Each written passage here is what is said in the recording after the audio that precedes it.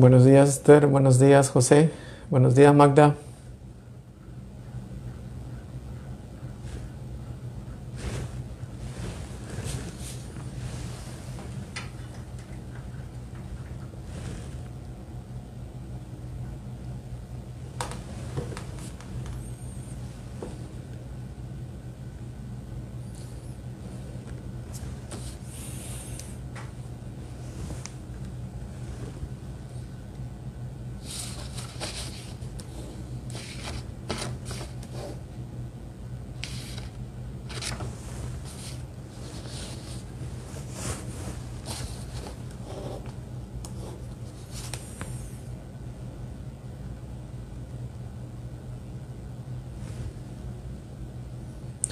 Buenos días Yolanda, buenos días Nelly.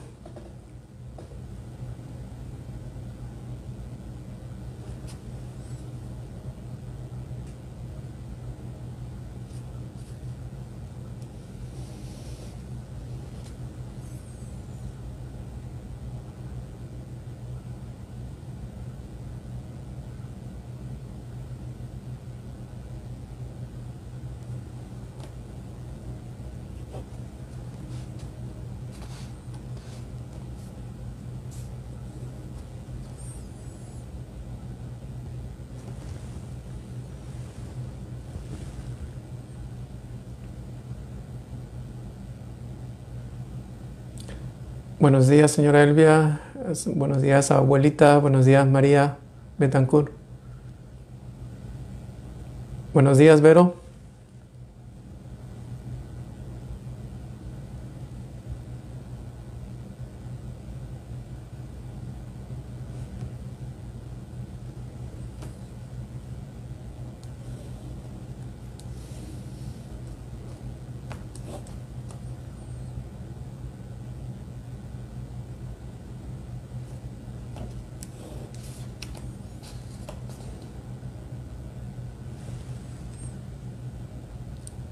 Buenos días, Ana Lilia. Buenos días, Liz. Buenos días, Guille. Buenos días, Angélica.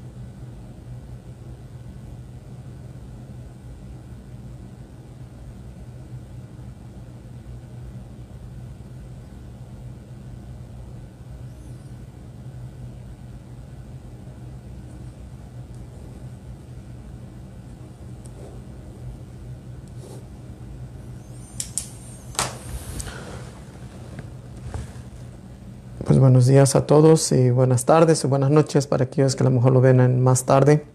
Eh, pues en el nombre de Jesús.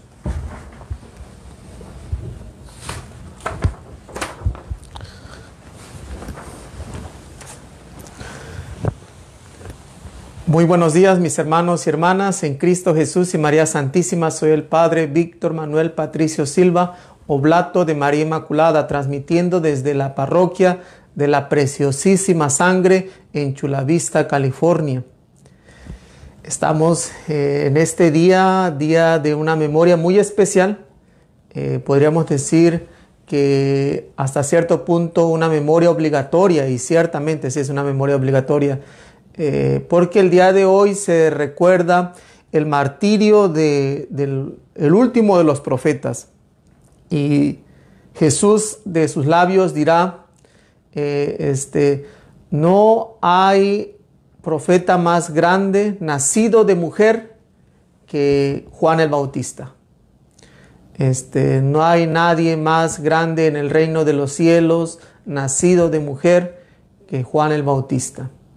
Y estamos en este día celebrando el día de su martirio.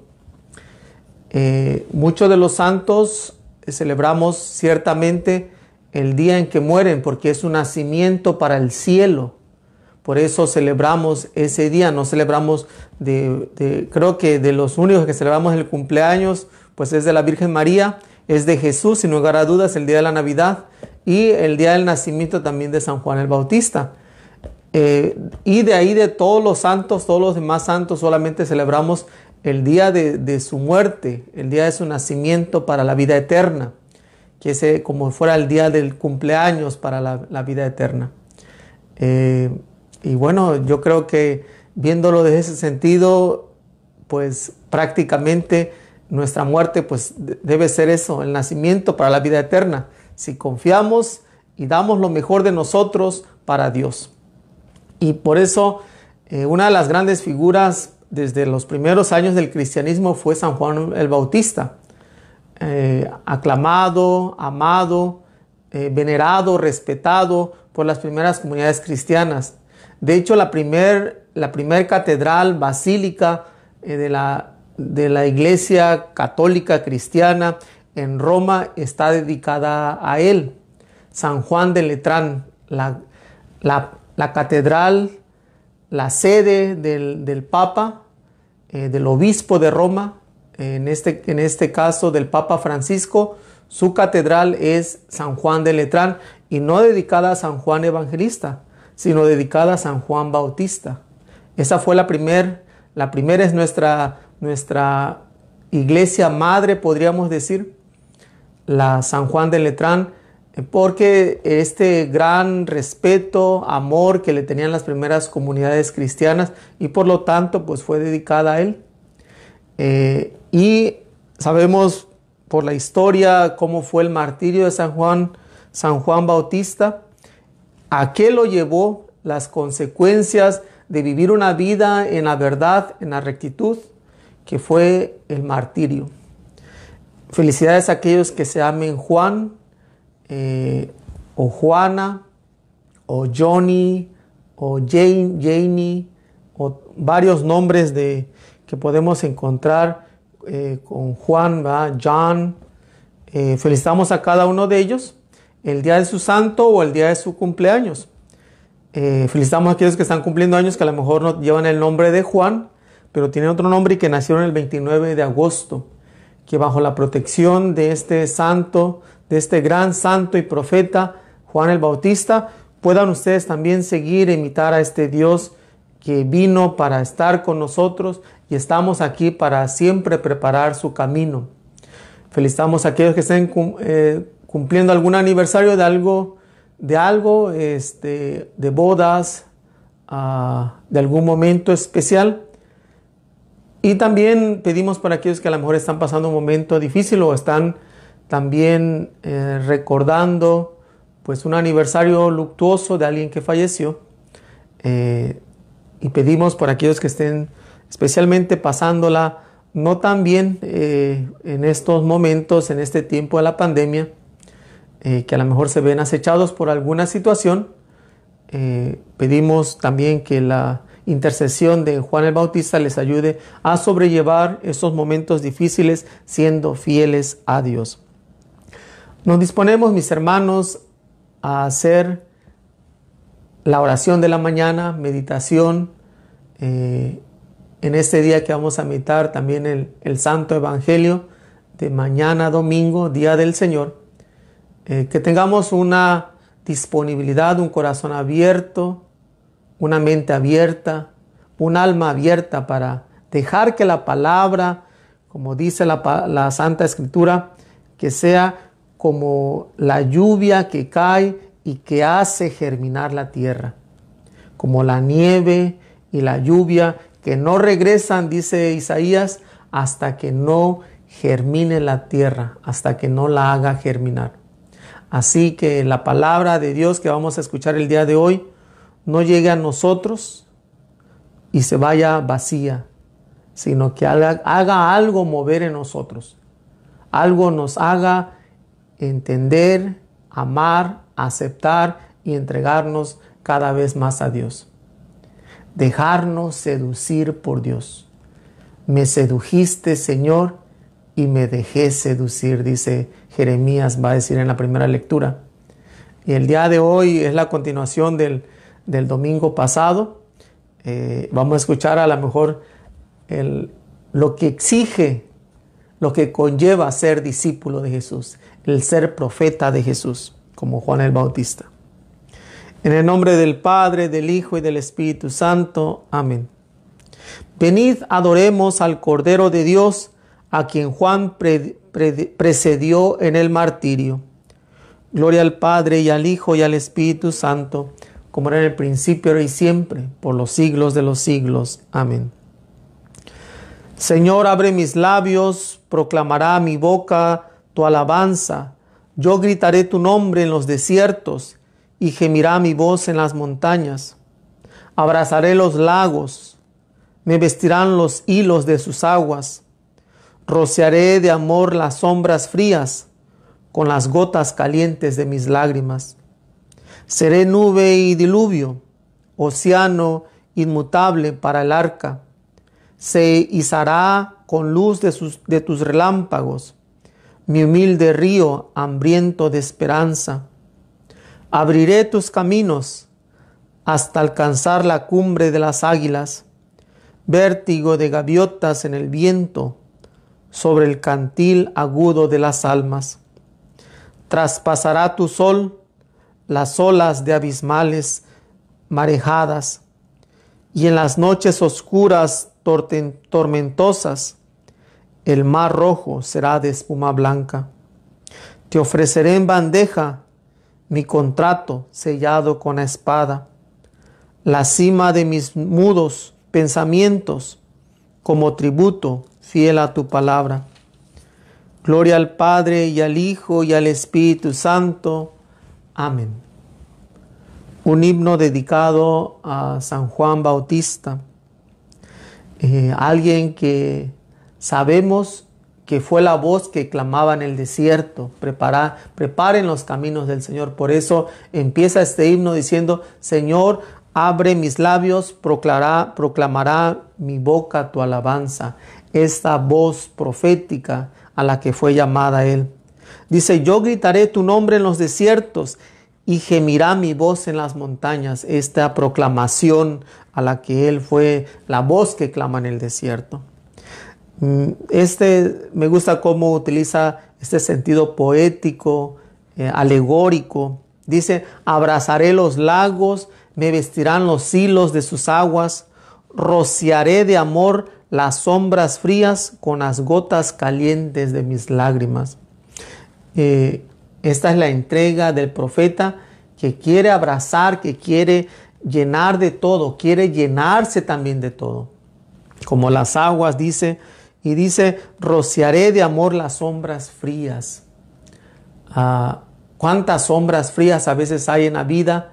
Y a veces rociar de amor esas sombras frías que, que les dé calor, que les dé vida. Dice, seré nube y diluvio, océano inmutable para el arca. El arca sabemos que es eh, la presencia de Dios. Entonces, eh, si Él será nube y diluvio, son imágenes del Espíritu, el Espíritu que es nube, el Espíritu que, transforma, que purifica, que purificó con el diluvio. Dice, y, océano inmutable para el arca, el arca que sabemos que es la presencia de Dios y entonces podemos decir que a lo mejor es Jesús, es, la, es esta es este, es este, San Juan es el océano inmutable para esta arca. Dice, se, irizará con luz de tus relámpagos mi humilde río hambriento de esperanza. Abriré tus caminos, por, eh, dice, enderecen sus caminos, ah, decía Juan el Bautista, abrir caminos, él era el precursor. Dice, hasta alcanzar la cumbre de tus águilas. Eh, esta es una imagen a lo mejor para hablar de los niveles altos de santidad. Eh, y por, e, sabemos que el águila es una de las aves que vuela lo más alto en los cielos. Y por eso alcanzar la cumbre de las águilas es alcanzar lo máximo en la santidad. Eh, vértigo de gaviotas en el viento sobre el cantil agudo de las almas. Dice, traspasará tu sol las olas de abismales marejadas y en las noches oscuras tormentosas el mar rojo será de espuma blanca. Habla en este sentido, eh, traspasará tu sol, el sol de justicia, el sol que vendrá de lo alto es Jesús. Entonces vendrá el sol que traspasará las olas abismales marejadas. Eh, especialmente sabemos que en lo profundo del mar la luz del sol pues ya no llega. Eh, así que el sol traspasará todo eso y llega, llegará hasta lo más profundo. Eh, y especialmente dice en las noches oscuras, tormentosas. Dice, el mar, será, el mar rojo será de espuma blanca. El mar rojo que eh, puede ser el símbolo de la sangre derramada de los mártires que se transforma, serán lavados y quedarán blancos. Por eso será de espuma blanca. Eh, la, transformación de la sangre del, martirio se purificará y se transformará en una, en una pureza, en una blanqueza muy grande. Y dice, te ofreceré en bandeja mi contrato sellado con la espada. Eh, sabemos que el martirio de San Juan el Bautista hasta parece una situación de horror, ¿verdad? Eh, la hija de Herodías que pide que le traigan en una bandeja la cabeza de Juan el Bautista. Y por eso dice, te ofreceré en bandeja mi contrato sellado con la espada. En la bandeja en la cual su contrato es pagado con su sangre. Eh, es un símbolo atroz, es un momento atroz ver el martirio de San Juan el Bautista, pero ahí se sella la fidelidad, se sella eh, su amor hacia Dios. Y, bueno, en, una bandeja que, tristemente podemos pensar, a la cima de mis nudos pensamientos como tributo fiel a tu palabra. Ahí se ve la fidelidad eh, que él tuvo, eh, Juan el Bautista, al dar su vida por la verdad, a dar su vida por ser fiel a Dios. Eh, los sábados también se, se, recuerda a nuestra Madre Santísima, así que a ella también recordamos como Madre, como Reina de los Mártires. Vamos a hacer el Salmo 116, un salmo bien cortito, este, que si lo encuentran en su Biblia, Salmo 116 que nos marca el día de hoy. Dice, Alabad al Señor todas las naciones, aclamadlo todos los pueblos. Firme es su misericordia con nosotros, su fidelidad dura por siempre. Gloria al Padre y al Hijo y al Espíritu Santo, como era en el principio, ahora y siempre, por los siglos de los siglos. Amén. Firme es su misericordia con nosotros, su fidelidad dura por siempre, dice este salmo. Ah, no se mueve su misericordia. Su misericordia siempre va a estar, va a ser lo más fuerte, más que la justicia de Dios. Dios es un Dios justo, pero es más misericordioso que justo. Y la fidelidad de Dios dura para toda la eternidad. Nosotros podemos ser infieles, Dios siempre será fiel. Sin más ni más, pasemos al plato fuerte dentro de los banquetes, especialmente cuando alguien tiene la oportunidad de, un, ir a un banquete este, que tienen diferentes eh, cursos, diferentes ah, platos. Eh, sabemos que primero viene el aperitivo, eh, a veces hasta viene un poco de vino o algo, un licor para generar apetito. Este, viene la ensalada o viene un poco de fruta. Y de ahí viene el plato fuerte, ¿verdad? Que, que se sirve. El Evangelio es el plato fuerte que comemos todos los días con la palabra de Dios, pero especialmente el día del Señor con la Santa Eucaristía, este, se sirve el plato fuerte eh, que empieza con el Evangelio. Y no quiero decir que todo lo demás no, sea importante, todo, lo, todo es importante en la Sagrada Escritura. Dicen que la, la, Sagrada, perdón, la Sagrada Eucaristía, la Sagrada, la Sagrada, la Sagrada Eucaristía empieza desde, desde que va llegando la gente, el canto de entrada hasta el canto de salida. Todo eso es, incluye la Santa Eucaristía, pero hay momentos más fuertes, lógicamente. Eh, la proclamación del Evangelio y la Santa Eucaristía en sí, la consagración y la comunión, el recibirlo. El Evangelio es del, del, libro del Evangelio de San Mateo, capítulo 16, versículo del 21 al 27. Es la continuación de, del Evangelio de hace ocho días, del domingo pasado este, para no... El domingo pasado fue del 16 al 20 y exactamente el 21 al 27 continúa este Evangelio. Nos disponemos para hacer la proclamación del Santo Evangelio. El Señor esté con ustedes. Proclamación del Santo Evangelio según San Mateo. En aquel tiempo comenzó Jesús a anunciar a sus discípulos que tenía que ir a Jerusalén para padecer allí mucho de parte de los ancianos, de los sumos sacerdotes y de los escribas, que tenía que ser condenado a muerte y resucitar al tercer día. Pedro se lo llevó aparte y trató de disuadirlo, diciéndole, no lo permita Dios, Señor, eso no te puede suceder a ti. Pero Jesús se volvió a Pedro y le dijo, apártate de mí, Satanás, y no intentes hacerme tropezar en mi camino, porque tu modo de pensar no es el de Dios, sino el de los hombres. Luego Jesús dijo a sus discípulos, el que quiera venir conmigo, que renuncie a sí mismo, que tome su cruz y me siga, pues el que quiera salvar su vida la perderá, pero el que pierda su vida por mí la encontrará. ¿De qué le sirve a uno ganar el mundo entero si pierde su vida? ¿Y qué, puede, ¿Y qué podrá dar uno a cambio para recobrarla?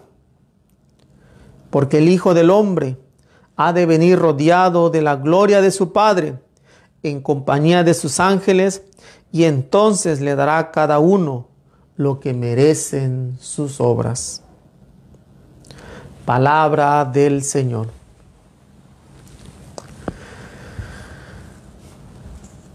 Pues pareciera como que se cambió la tortilla.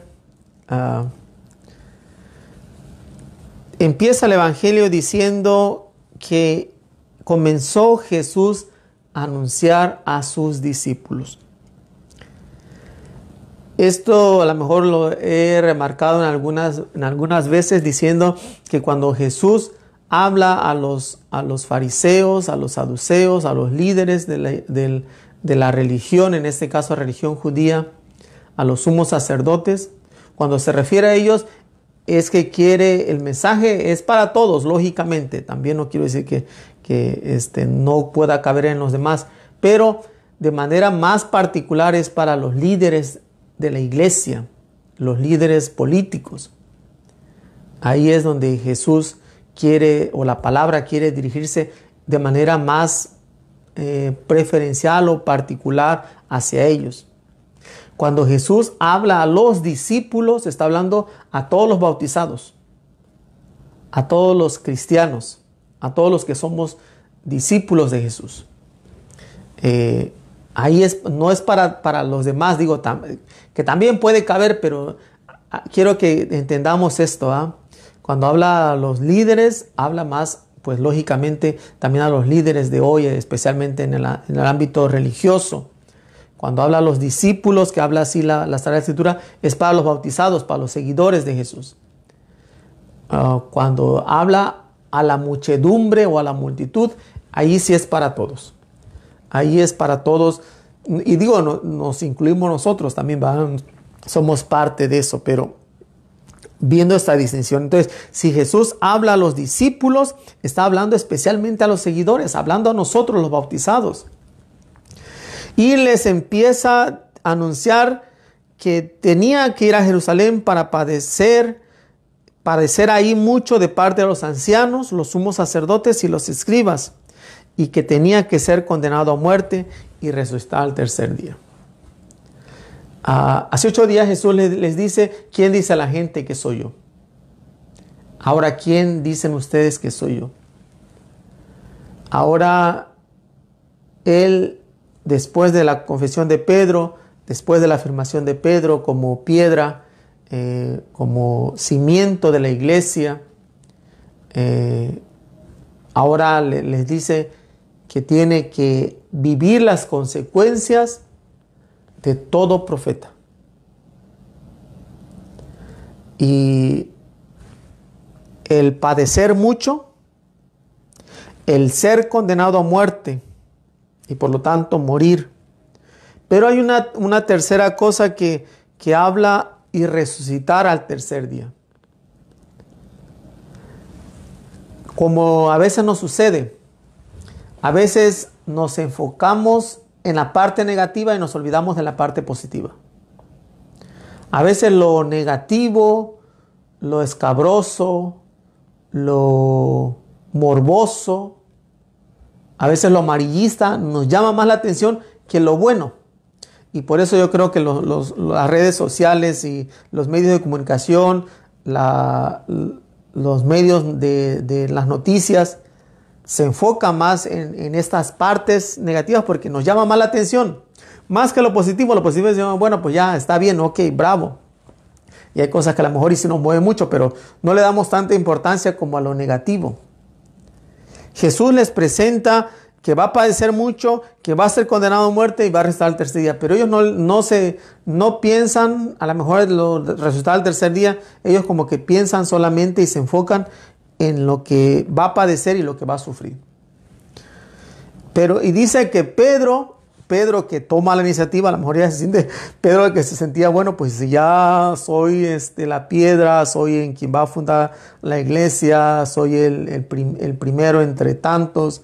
Digo, a lo mejor no estoy poniendo eso, no, no quiero decir que a lo mejor así sea, pero, pero Pedro es el que se lo lleva aparte y trata de disuadirlo dice la palabra. Dice, no lo permita Dios, Señor, que eso no te puede suceder a ti. Porque no era el mesianismo que ellos esperaban. No era la manera en la cual ellos esperaban que Dios debería de actuar. Para ellos no era a lo mejor la manera que, debería Dios actuar con el Mesías. Eh, no estaba de acuerdo, porque el Mesías no tenía por qué sufrir. Entonces, si sufría, entonces se desmoronaba la visión mesiánica que ellos tenían. Y yo creo que se siente desilusionado Pedro. Y por eso trata de disuadirlo decir, esto no te puede pasar a ti. Pero Jesús, dice la palabra, se regresa pero Jesús se volvió a Pedro y le dijo, apártate de mí, Satanás, y no intentes hacerme tropezar en mi camino, porque tu modo de pensar no es el de Dios, sino el de los hombres. Hace ocho días, en versículos anteriores, eh, le dijo, esto no te lo ha revelado ningún hombre, sino mi Padre Celestial. Y ahora, pues lo que me dices, no te lo está revelando a Dios, sino es puro pensamiento humano. Y yo creo que ahí es donde la segunda lectura yo creo que nos, nos ayuda porque nos habla de discernir la voluntad de Dios. Discernir lo que es bueno, lo que le agrada, lo que es perfecto. A veces yo creo que en la vida este, buscamos todo esto y Jesús refiere de ahí a hablar de la cruz.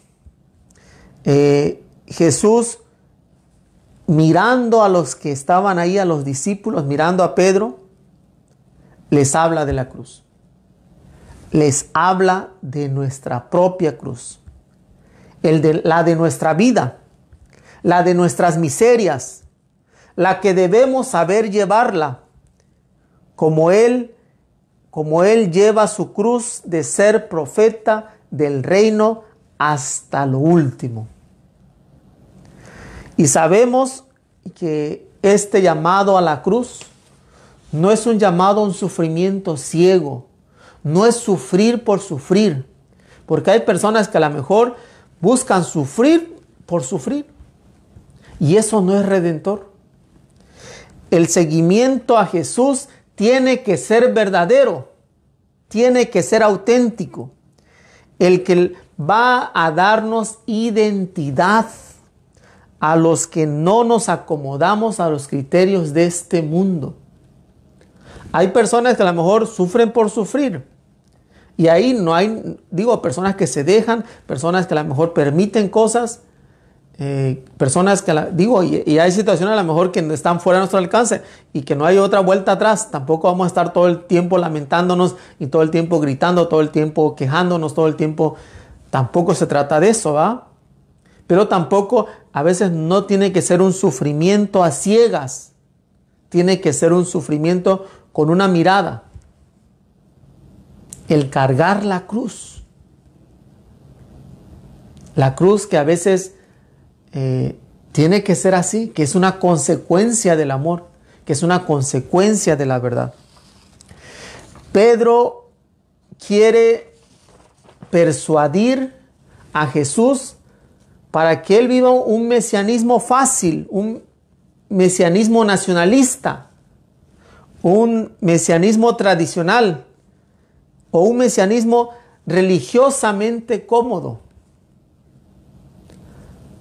Eh, este era el, el mesianismo que ellos esperaban. Un Dios que viniera con poder, un Mesías que viniera con poder y que destruyera todo y que todo lo pusiera en orden, que todo fuera en paz, que todo fuera cómodo, todos vivimos felices para siempre y nada nos preocupa. Somos el pueblo elegido, vamos a recibir solamente los beneficios. Y Jesús lo reprende. Y a veces estas palabras de, este, de detrás de mí, apártate de mí, Satanás. Apártate de mí, Satanás. Es como decir, no estés detrás de mí como Satanás. Prácticamente a lo mejor una traducción podría ser eso. No estés detrás de mí como Satanás diciéndome. O que si fuera con toda energía un rechazo, diría, vete y no vengas conmigo como si fuera Satanás. Quítate de mi vista. Eh, prácticamente en algunos este rechazo a Pedro es vete de mi vista. Eh, que es, usa una palabra eh, en griego que es hipaje, que es una expresión semejante a lo de las tentaciones. En las tentaciones Jesús rechaza a Satanás. Aléjate de mí, Satanás. Vete de mi vista. Entonces es una manera en la cual sabemos que Jesús no solamente fue tentado en el desierto, sino también seguirá siendo tentado. Y a veces eh, podríamos decir que usará nuestro pensamiento humano, nuestra comodidad, lo que nos gusta, el estar bien, como una manera de, de tentarnos y decir, bueno, ¿para qué te esfuerzas? ¿Vale la pena? ¿De qué sirve? Y Jesús refiere ahora a los discípulos, el que quiera venir detrás, el que quiera venir conmigo, que renuncie a sí mismo, que tome su cruz y me siga. El que quiera venir conmigo. Si esto les escandaliza, Ahora quiero presentarles la verdad prácticamente, está diciendo Jesús. El que quiera venir conmigo, el que quiera, no está obligando. No está diciendo, bueno, pues ahora tienen que venir conmigo. Ahora se tienen que aguantar. La invitación es libre. La invitación es si quieres. Hasta cierto punto dice, el que quiera venir conmigo, que renuncie a sí mismo, tome su cruz y me siga. Estas son las consecuencias del seguimiento. Renunciar a sí mismo, tomar la cruz y perseverar. Eh, a veces yo creo que cuesta, sin lugar a dudas, ser discípulo de Jesús. Cuesta morir a uno mismo, cuesta tomar la cruz, pues cuesta el seguimiento. Y de ahí Jesús dice, pues el que quiera salvar su vida la perderá y el que la pierda por mí, la encontrará. Y ahí el salvar y perder nos habla en parte de la vida eterna, pero también nos habla de la autenticidad de nuestra vida, de la plenitud de nuestra vida, aquí en la tierra. Si queremos realmente vivir en la plenitud, tenemos que perder la vida por Jesús. Tenemos que perder la vida por Jesús si queremos vivir en la plenitud, si queremos ser auténticos. Puede ser cómodo, pues no seguir a nadie, no seguir a Dios, no seguir a nada, pero no vamos a ser auténticos. No vamos a vivir en la plenitud. En esta radicalidad del seguimiento, de renunciar, de tomar la cruz y, seguir y seguirlo, es donde vamos a encontrar la vida, la vida plena y la vida eterna al final de cuentas. Dice, y de, y de ahí lanza una expresión que para mí me toca. ¿De qué le sirve a uno ganar el mundo entero si pierde su vida? ¿De qué me sirve a mí ganar el mundo entero si pierdo mi vida? Vivimos en un mundo de apariencias, vivimos en un mundo donde queremos ganar los likes, donde queremos ganar buenos comentarios, donde queremos ganar algo, donde sentimos que toda la vida es un, intercambio, yo te doy, tú me das, donde queremos buscar siempre estar lo más cómodos. Pero ¿de qué te sirve todo eso si pierdes tu vida? ¿De qué me sirve agradarle a todos, que nunca les voy a agradar, nunca voy a complacer a todos. Y al final de cuentas me estoy matando a mí mismo. ¿De qué me sirve tontas, tantas cosas? Si al final pierdo mi vida. ¿De qué me sirve esforzarme tanto ah, en cosas vanas, en cosas materiales? Si al final de cuentas pierdo mi libertad. ¿De qué me sirve querer tragarme todo? De saciar mis deseos, de saciar mis necesidades. Necesidades, digo, y necesidades a veces que, no son tan básicas, que a lo mejor son, hay una necesidad mucho más profunda. ¿De qué me sirve caer en adicciones si me pierdo a mí mismo? ¿De qué me sirve prácticamente? ¿De qué le sirve a uno ganar el mundo entero si pierde su vida. ¿Y qué podrá dar uno a cambio para recobrarla? La vida se nos va. La vida se, se, nos está yendo de las manos. No podemos detener el tiempo. No podemos detener la vida. La vida sigue su rumbo, sigue su camino. ¿Qué vas a hacer para recobrar a lo mejor el tiempo perdido? ¿Acaso alguien puede recobrar el tiempo perdido? No podemos. Ya se fue. Ahora piensa en el tiempo que estás viviendo, en el tiempo que te queda. No sabemos ni cuánto tiempo nos queda. ¿De qué te sirve querer ganar algunas cosas si pierdes tu alma, si pierdes tu vida? Dice, porque el Hijo del Hombre ha de venir rodeado de su gloria, su Padre, en compañía de sus ángeles, entonces le dará a cada uno lo que merecen sus obras. Así cierra eh, Jesús. Y está hablando en este sentido de que al final vamos a recibir lo que merecemos. Lo que estás haciendo, lo que estás viviendo, tiene sus consecuencias, para bien o para mal. Y no creas que a lo mejor te la vas a pasar todo el tiempo pensando que, ah, bueno, nadie se va a enterar, o que no va a pasar nada. ¿Qué puede suceder? Eh, y al final de cuentas que no va a haber ninguna consecuencia. Si no hay una consecuencia aquí en la tierra, va a haber una consecuencia en el cielo. Eso sin lugar a dudas. Pensemos, discernamos, dice Jesús, dice San Pablo. Pensemos qué estamos haciendo. Pensemos en las consecuencias de nuestro, de nuestro llamado. Pensemos como Dios, no como el diablo, no como el mundo.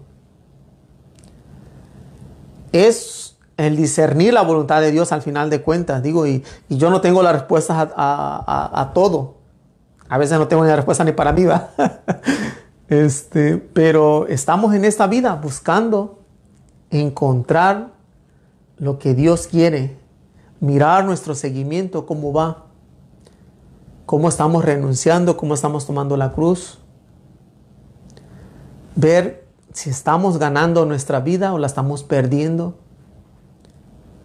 Si estamos mirando nuestra vida presente, eh, viviendo, haciendo lo que creemos que Dios nos está llamando para ganarnos la vida, aquí la vida eterna.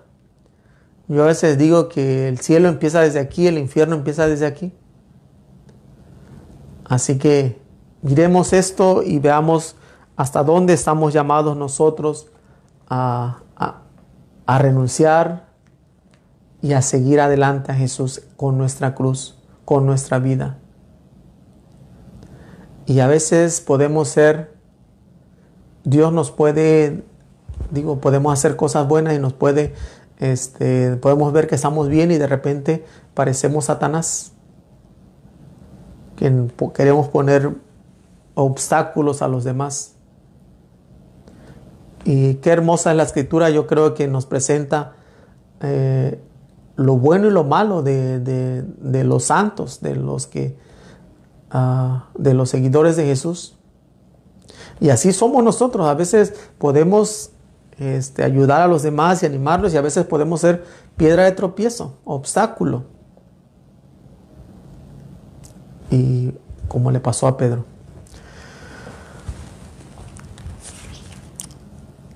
Hacemos las preces, recordando el ejemplo de San Juan Bautista que anunció la presencia de Jesucristo en medio de nosotros y dio testimonio de él hasta el martirio. Dirijamos nuestra mirada a Dios diciendo, Señor, escucha a los que en ti esperan. Para que la iglesia nacida de Cristo, a quien Juan el Bautista anunció presente en medio de todos, permanezca atenta a los signos de los tiempos y sepa interpretarlos. Señor, escucha a los que en ti, a los que en ti esperan, para que los gobernantes, estimulados por la presencia y el testimonio de los cristianos, se muestren decididos a rechazar toda forma de corrupción, de hipocresía y de prepotencia. Señor, escucha a los que en ti esperan, para que seamos capaces de dar razón de nuestra esperanza a quienes no la pidan. Señor, escucha a los que, a los que en ti esperan. Ahora en silencio ofrezcan ustedes sus propias necesidades.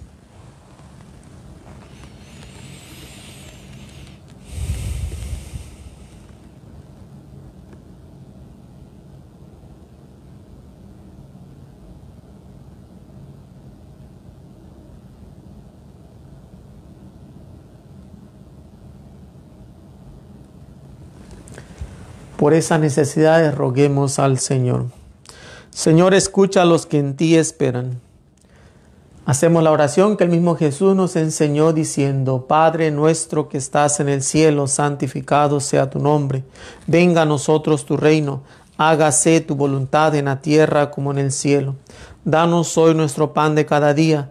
Perdona nuestras ofensas como también nosotros perdonamos a los que nos ofenden. No nos dejes caer en la tentación y líbranos del mal. Dios nuestro, tú que quisiste que Juan San Juan el Bautista fuera el precursor del nacimiento y de la muerte de tu Hijo, concédenos que así como Él dio la vida como testigo de la verdad y la justicia, también nosotros luchemos con valentía en la afirmación de tu verdad. Por nuestro Señor Jesucristo, tu Hijo, que contigo vive y reina en la unidad del Espíritu Santo y es Dios por los siglos de los siglos. Amén. El Señor esté con ustedes. Y la bendición de Dios Todopoderoso, Padre, Hijo y Espíritu Santo, descienda sobre ustedes y permanezca para siempre. Amén. Una de, la, de los grandes retos en nuestra vida y eh, especialmente eh, en nuestros jóvenes es cómo ayudarlos eh, a ser maduros. y yo creo que si vemos nuestras vidas, vemos las vidas de los demás, vemos a veces muchas cosas de inmadurez y algunos que pareciera que nunca han crecido, pareciera que nunca pues no han conocido, se encaprichan como chicos, como chamacos, como haciendo berrinches, este, digo, no sé, a, a, veces reaccionando de una manera no apropiada, este, perdiendo el tiempo en cosas, a veces digo, tampoco quiero decir que, que no pasemos pasatiempos, ni, pero hay personas que a veces no, se siguen viviendo como eternos adolescentes o eternos niños, eh, que en algunos casos se entiende, digo, si, si, alguien tiene una discapacidad, pues bueno, pues ahí se entiende, pero, pero a, a veces yo digo, hay circunstancias que a lo mejor hemos vivido y que nos generaron estas inmadureces, pero ya hay que superarlas. A veces hay que aprender a superarlas, poder encontrarlas. Y digo, y en eso estamos todos. Yo no quiero decir que yo sea el maduro, sea la persona este, que, que no, no, no, hace niñerías. A veces caigo en esas niñerías. Pero darnos cuenta, y digo, a veces en las relaciones, a veces en las amistades se ve cómo se actúan, actúan las amistades como, como niñerías, pues. Eh, la, relación con, el esposo, con la esposa, con los hijos. A veces ahí salen nuestras niñerías. Eh, y yo creo que en la vida ayudar a madurar tiene que ser un trabajo de todos. A veces tenemos que estar dispuestos, lógicamente, a querer madurar nosotros, como personalmente, y ya después poder ayudar a los demás a madurar. Quiero leer esta, esta pequeña reflexión de ayudar a madurar, así se llama. Dice, me sorprende cómo celebran nuestros jóvenes la llegada de sus 18 años, emborrachándose, fumando, con grandes fiestas, frecuentando lugares del todo impropios, se presentan como adultos en la sociedad y rompiendo sus leyes. Dice, por el contrario, dice, cuando un joven aborigen de la tribu Maui en las islas del Pacífico llega a la mayoría de edad, las cosas son diferentes. Se le somete a una prueba para comprobar si es realmente maduro, adulto y capaz de llevar una vida responsable y de formar una familia. El joven tiene que construir una piragua con sus propias manos y navegar totalmente solo por más de 500 kilómetros de mar abierto hasta una lejana isla, de la cual debe tener una flor, debe traer una flor exótica de vuelta a casa. Debe sortear todo tipo de peligros. Si los jóvenes en la sociedad occidental están tan lejos de ser adultos, no será, por, no será porque no será porque con frecuencia los adultos les dificultamos a madurar? me pone a pensar, yo creo que a lo mejor y si va, aquí dice este, cómo nuestros jóvenes a, veces eh, cuando cumplen 18 años o 21 años aquí va, a veces celebran eh, pues emborrachándose, fumando, en grandes fiestas, eh, buscando lugares inapropiados, según se presentan como maduros o adultos en la sociedad, pero rompiendo leyes. No sé si esa es una buena manera de, realmente llegar a ser adulto y de poder decir, bueno, pues, eh, pues con esto ya, ya eres adulto y puedes hacer lo que tú quieras. No sé si eso sea madurez o inmadurez, decir que puedes hacer lo que tú quieras. Yo creo que ese es un sentido a veces inmaduro, porque ser adulto, ser maduro, significa otra cosa. Y digo, no quiere decir que a lo mejor este, tengamos todo el tiempo que ser serios y, todo tomarlo solamente todo en seriedad. Yo creo que debemos mantener una cierta eh, capacidad también de disfrutar, de vivir, de, eh, de pasarla bien, ¿va? Pero, pero no, no enfocarse solamente en eso. Es interesante cómo eh, este, en, otras culturas, especialmente las culturas más primitivas, podríamos decir primitivas, este, en el sentido no porque, porque sean eh, antiguos o sean este, retrógadas o, no, no tengan ninguna validez, pero que mantienen estos, estas cosas importantes para su vida, como en esta tribu, que para, para que los jóvenes puedan comprobar que son adultos y mayores, tienen que llevar un reto. Tienen que hacer algo con sus propias manos, eh, que es construir una piragua, que me imagino que es como una lancha con sus propias manos, y navegar solo, solo, totalmente solo, sin ayuda de nadie. Yo creo que ahí nos habla el esfuerzo personal por hacer algo, y también el no depender de los demás.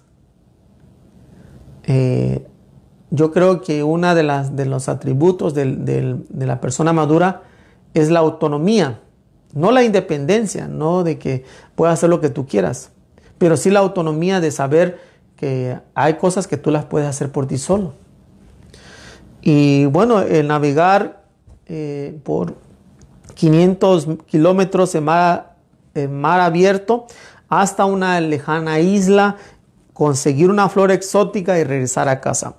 Esta es una manera de, que ellos tienen que comprobar que son adultos, que son mayores o son maduros. Y lógicamente que esto no va a ser fácil, va a requerir pasar por diferentes peligros. Y yo creo que Ahí es cuando somos maduros, que tenemos que afrontar diferentes peligros. A veces queremos evitar que nuestros jóvenes sufran lo que nosotros sufrimos. Pero ¿qué sentido eso? Eso no lo estamos ayudando a madurar. Hay gente que aún casados, los hijos, ahí están los padres. Ni dejan que los hijos vivan su propia su propio matrimonio y que ellos se enfrenten sus propias dificultades y peligros y que ellos lo resuelvan. A veces yo creo que sí, hay inexperiencia, pero ¿cómo van a agarrar la experiencia si no los dejamos nosotros madurar? Y por eso dice este, los jóvenes en nuestra cultura occidental, que somos nosotros, a veces están lejos de ser adultos. Y no será porque nosotros como adultos, como adultos, yo creo les dificultamos a madurar. A veces yo creo que es bueno dejar que nuestros jóvenes cometan errores y que aprendan de eso. Tampoco es solapar los errores. Hay personas que a veces, este, bueno, pues no es que yo le tengo que ayudar con esto. ¿Quién dijo que le tienes que ayudar? Ya está casado, ya está adulto. Bueno, pues que le luche, que le vea. Yo sé que suena difícil. Y a lo mejor, y pues yo no tengo hijos, pero, pero creo que a lo mejor es lo, lo más práctico, dejar, ayudarles, enseñarles, pero dejarlos que se enfrenten a la vida, que se enfrenten a los peligros, que luchen, que salgan adelante. Nosotros, si tuvimos que enfrentar peligros, es lo que nos ayuda a madurar. ¿Por qué evitar que ellos enfrenten todo eso? ¿Por qué quitarles esa oportunidad de madurar? ¿Por qué siempre sobreprotegerlos y sobrecuidarlos? Y, les digo, ah, va a requerir un discernimiento. Tampoco estoy diciendo que a lo mejor y los dejen como animalitos, que hagan lo que, bueno, pues enfréntense y bueno, ahí vean. No, a lo mejor que requiere un discernimiento, pero a veces hay personas que pueden ser sobreprotectores, que a veces no dejan que hagan nada. Les, les dan todo. No quieren que sufra nada. No quieren que sufran escaseces. Aunque los padres estén sufriendo, pero los hijos no. ¿Qué sentido tiene? Ayudemos a nuestros jóvenes. Crezcamos nosotros nuestras propias inmadureces, porque les digo, si nos ponemos a pensar a veces nuestra forma de vivir, si hacemos una evaluación de cuáles son mis áreas inmaduras, nos vamos a dar cuenta que tenemos áreas inmaduras que tenemos que enfrentar. Cuando no dejamos al otro ser quien es. Cuando a veces hacemos berrinche hasta por pequeñas cositas que tenemos que gritar. ¿Quién te dijo que tienes que gritar? Que tenemos que escandalizarnos, tenemos que enojarnos, tenemos que, hacer berrinches, que hacer nuestras niñerías. Mirar nuestra vida. Madurar para ayudar a los demás a madurar. Ese es un gran trabajo. Superar, cargar nuestras cruces para ayudar a los demás a cargar sus cruces, a llevarlas, pero que no quitárselas. El Señor esté con ustedes. Y la bendición de Dios Todopoderoso, Padre, Hijo y Espíritu Santo, descienda sobre ustedes y permanezca para siempre. Amén.